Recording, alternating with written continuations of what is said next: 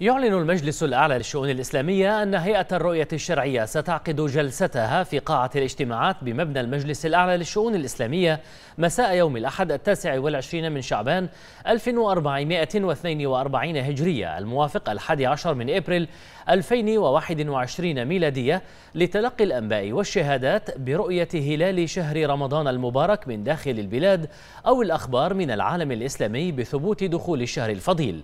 ودعا المجلس في بيان من لديه شهادة تتعلق برؤية الهلال إلى الاتصال بهيئة الرؤية الشرعية للإبلاغ بذلك مشكورا مأجورا.